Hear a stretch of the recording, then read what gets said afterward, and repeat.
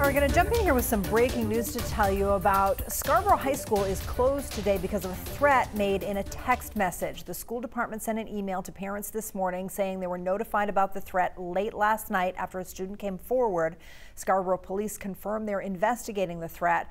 The school department leaders decided to close the high school as a precautionary measure. After school activities are also canceled. We'll bring you more information as it becomes available.